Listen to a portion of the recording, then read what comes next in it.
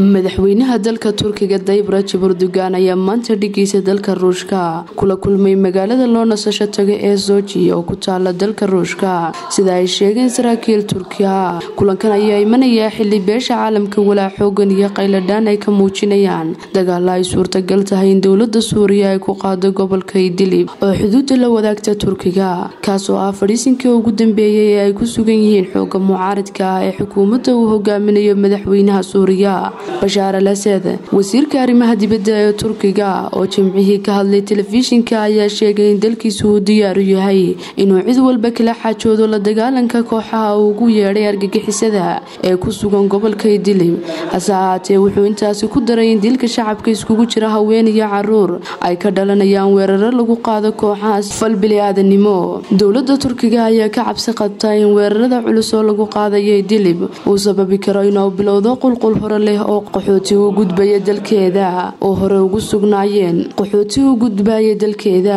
oo ay horeba ugu sugnaayeen qaxooti reer suuriyaan ah oo ay tiradoodu gaadhayso saddex milyan. Erdogan iyo putin ayaa isbuucii la soo dhaafay ku kulmay. Shiruu qabanqaabinayay dhigooda dalka iiraan xasan oo ka dhacay magaalada tehraan. Madaxweynaha turkiga ayaa ku guuldaraystay dadaalo uu ku raadinayay in xabad joojin laga hirgeliyo gobolka idilib iyadoo ciidamada xukuumadda dimashiq ay ku jiraan diyaargarow ballaadhan oo maalimo socday si ay weeraro culus ugu qaadaan gobolkaasi. Ruushka iyo iiraan ayaa ah xulafada ugu waaweyn ee dowladda asad. Laakiin